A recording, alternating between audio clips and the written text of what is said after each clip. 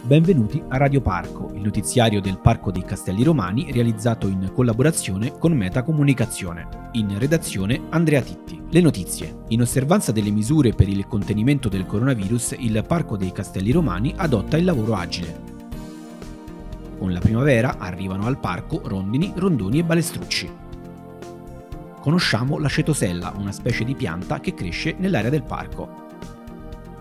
A marzo iniziano le migrazioni del variopinto gruccione. Per tutte le info consultare il sito www.parcocastelliromani.it. Dal Parco dei Castelli Romani e da Andrea Titti è tutto, appuntamento al prossimo notiziario.